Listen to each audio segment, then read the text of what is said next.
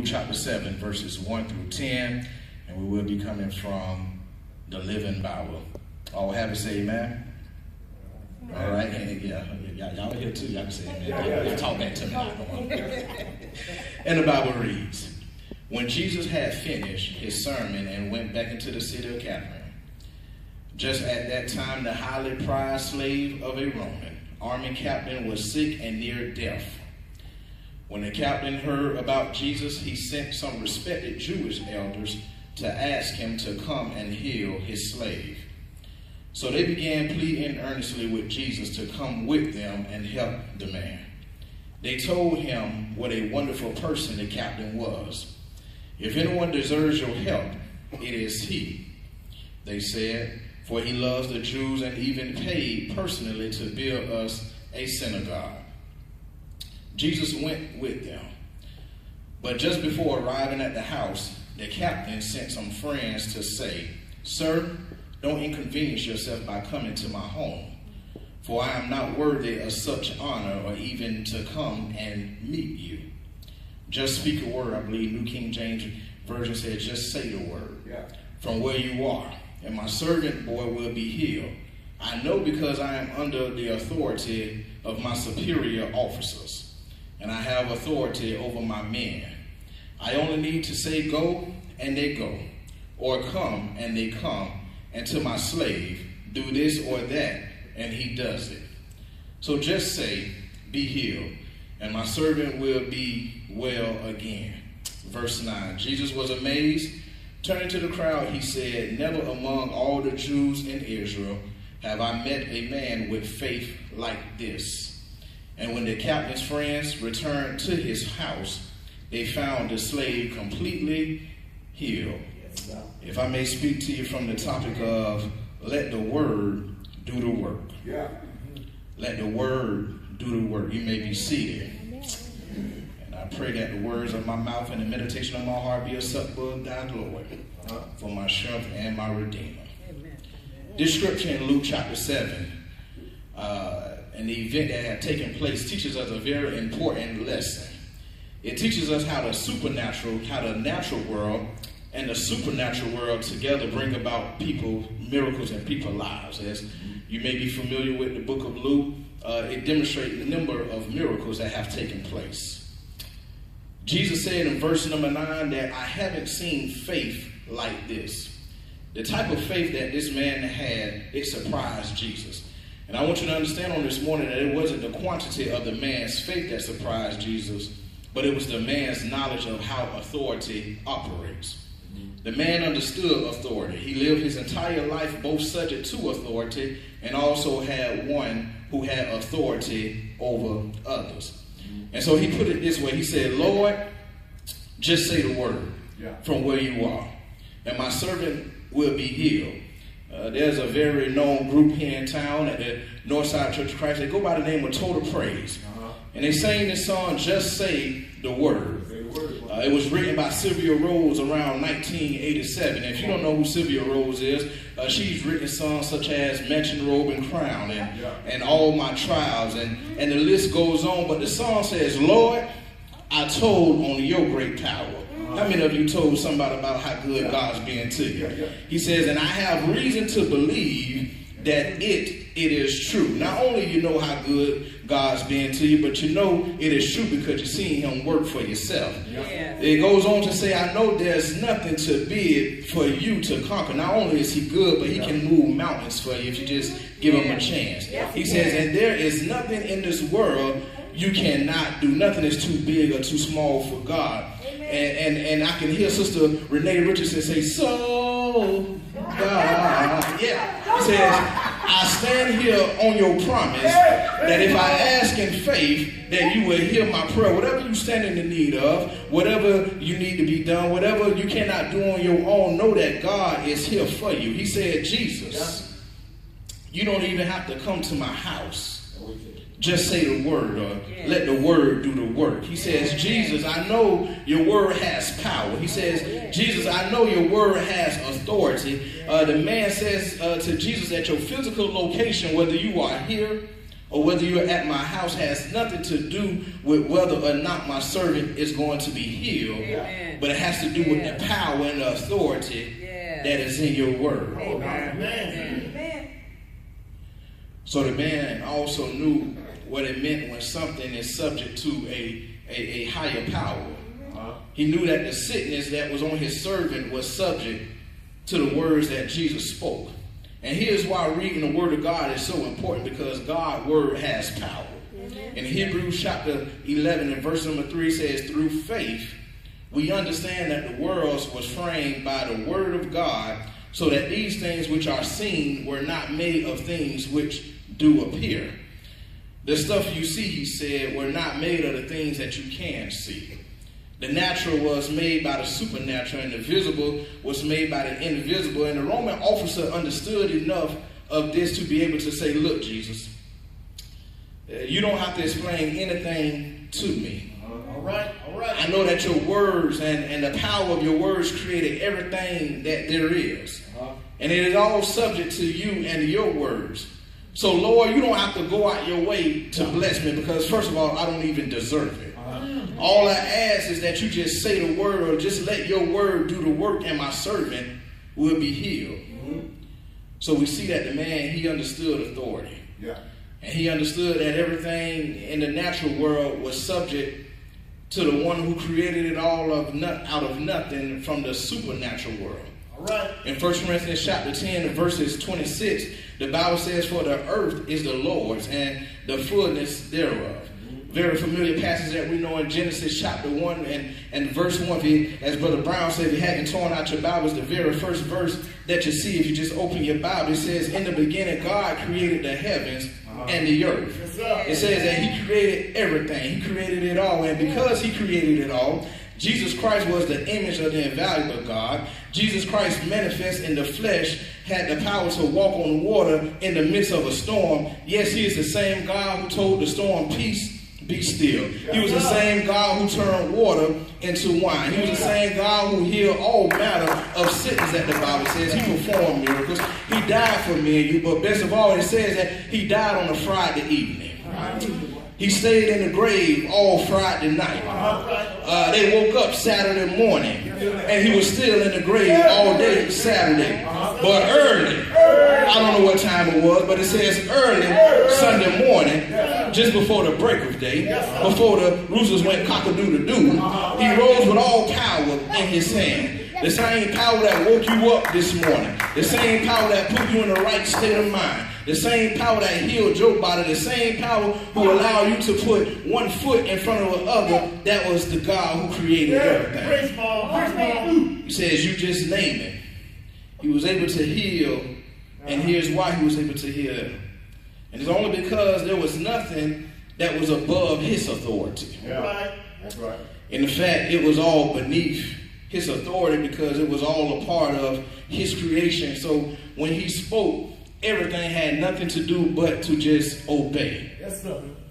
We see in Matthew chapter 8, there was a man who was full of 6,000 demonic spirits. Oh, talk and, it took from Jesus just to say one word, and that one word was go and those demons went streaming into a herd of pigs.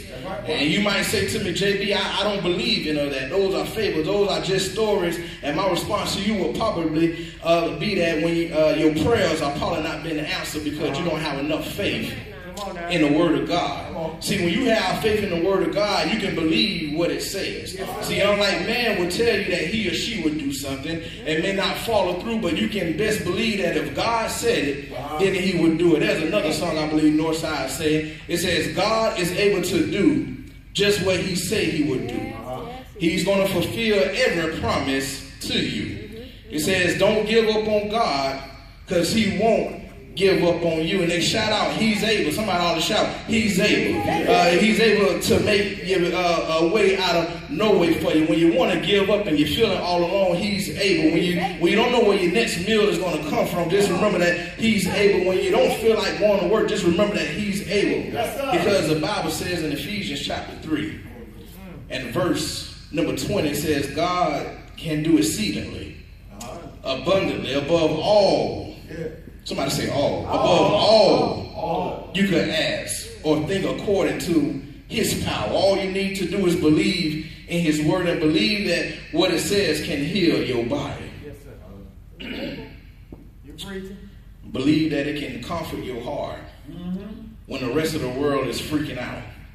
His word has authority over this natural world because it was the same word that spoke everything that there is into existence in the first place. We got many people out here who are worried about this virus. Uh, a virus that is part of this natural howbeit curse world. And as such, it is subject to the word of God. And this is why it's important to know the scripture and have it memorized in your heart. Listen to what he says uh, to you today on, on in Second Thessalonians chapter 3 and verse 3. He says, But the Lord is faithful.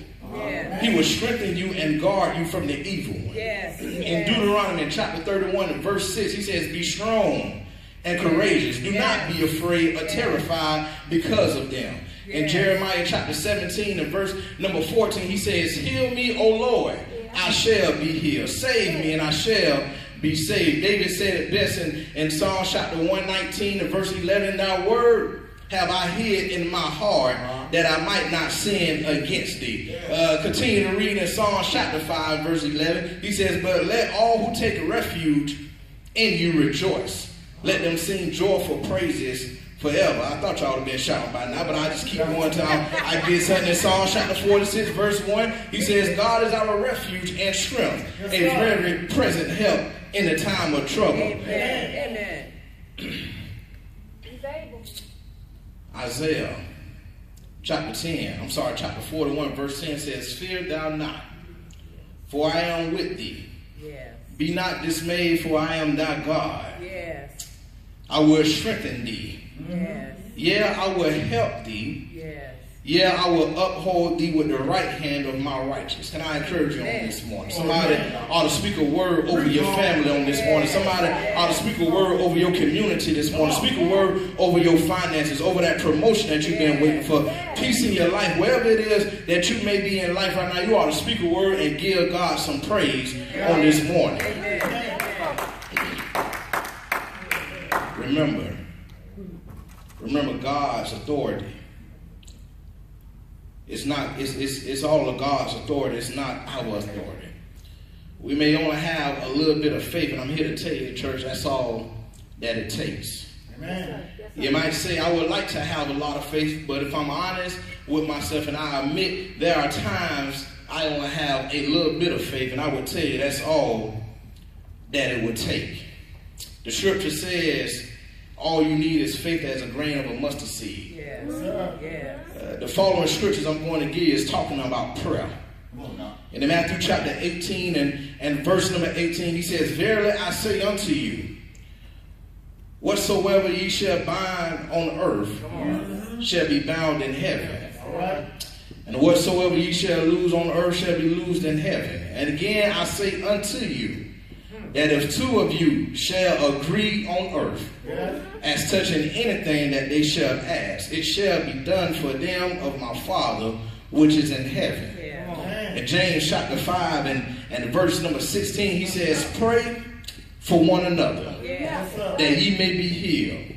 The effectual fervent prayer of a righteous man availeth much. What we need in churches, we need uh, some people uh, to pray like they never prayed before.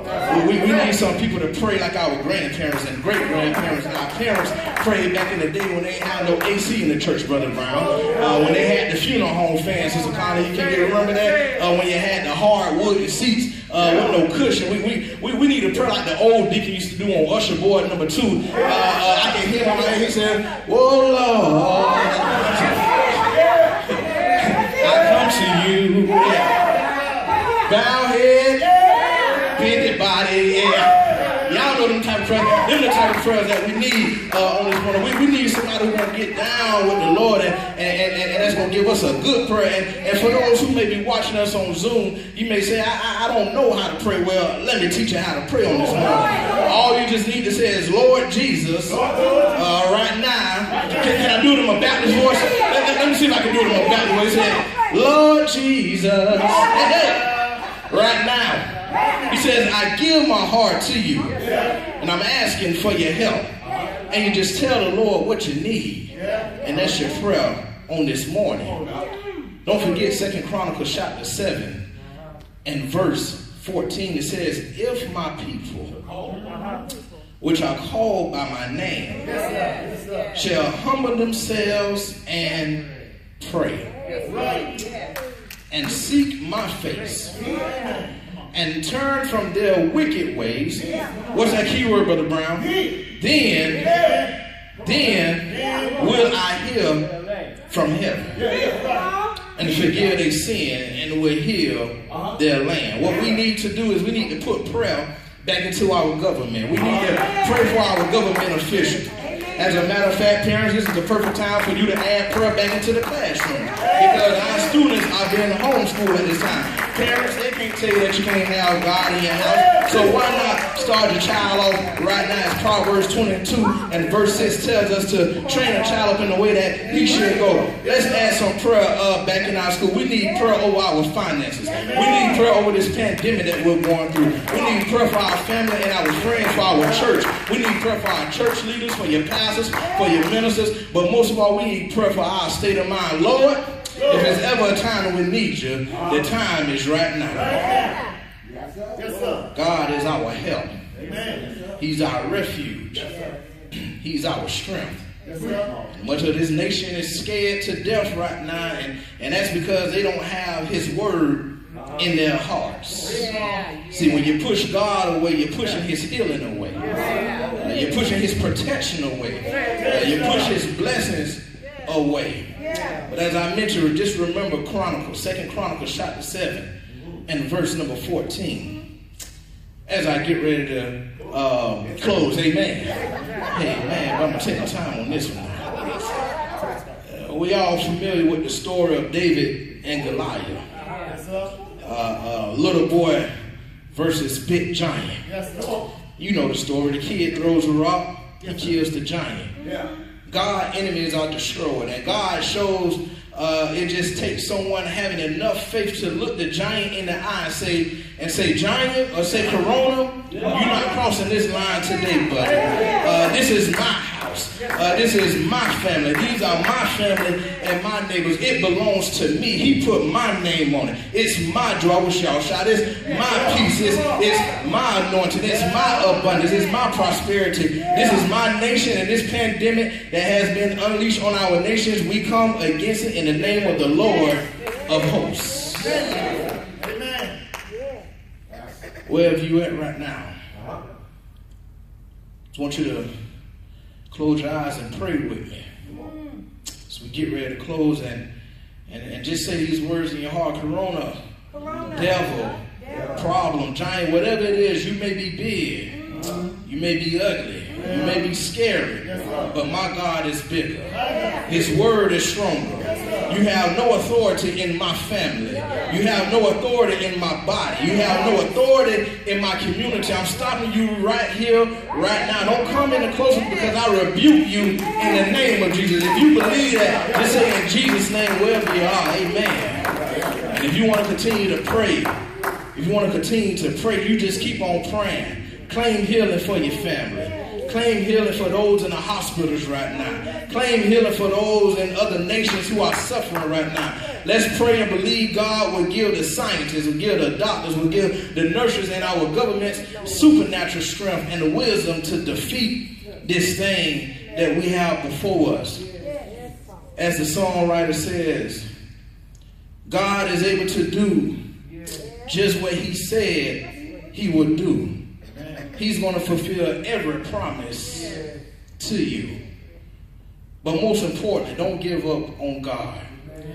I know your situation may not be the best situation that you want to be in right now. But just remember what you're going through right now is a test so that you can just have a testimony on the other end. See, God is not going to take you out of something bad and put you in something worse. Uh, uh, he, he, he knows what it is that he has for you. And he knows exactly where he wants you to be in life. But sometimes we got to go through a test. We got to be able to pray to God and just ask God what we stand in the need of prayer of. But when we go to God, don't tell God how to bless you. God don't need you to check it up on him every uh, 30 days to try to get a follow-up. Once you say your prayer to God, let the man do his word. Let the word do his work. We don't deserve his grace and his mercy that he gives us. And as they realize in the book of Luke, all they just needed for him to do is just say the word. Just say, come on. Uh, he says that uh, I, I know that I'm not worthy for you to be here right now, God. You're not even, I'm not even worthy enough for you to, to, to come to my house. But all I need for you to do is just say the word. I just know that your word has power, Yeah. that your word has authority. Yes. I just pray that whatever it is that you may be going through on this morning, I pray that you allow God's word and his power and his authority to just intercede in your life at this time. If you would, just please stand with me, whether you're at home or you're here in the building. And I just want you to close your eyes. Uh-huh. And I want you to use a time like this, Philip, if y'all can give me something, and, and, and just use this opportunity mm-hmm. to just reflect on the things that God has done for you. Use this time right now to pray to Him, whatever it is you may be standing in need of prayer of. Our nation is hurting right now. We have this coronavirus that have taken some lives of those that we know. We understand that some people are out of work at this time. We understand that it has put a strain on some families at this time. But Lord, I declare and decree on this morning that you bless every family that is under the sound of my voice, house by house, dear Heavenly Father. Pass me not, Savior. If you'd like to be added to the body of Christ, although we are here through our Facebook Live, through our Zoom, you can still be added to the body of Christ. God said He has a plan for you, He has a purpose for you. You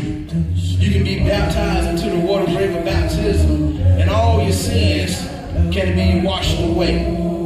But you got to allow God to come in and, and let His word do the work. Once you go to the Lord in prayer, don't worry about anything.